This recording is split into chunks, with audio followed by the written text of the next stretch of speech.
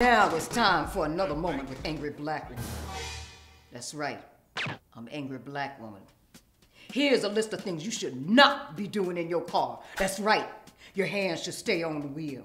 Your hands should stay on the wheel. Don't eat while driving. Don't multitask while driving. Don't put on your makeup while driving. Don't shave in the car while you're driving. Don't read a map while you're driving. Don't read a book while you're driving. Don't read a newspaper while you're driving. And be careful with your children in the car. They're supposed to be in car seats, not running around in the back. And make sure that you do not change your station. I can't tell you the number of times I have seen people reach over to change stations with their head below the dashboard, making it look like they Ichabod Crane.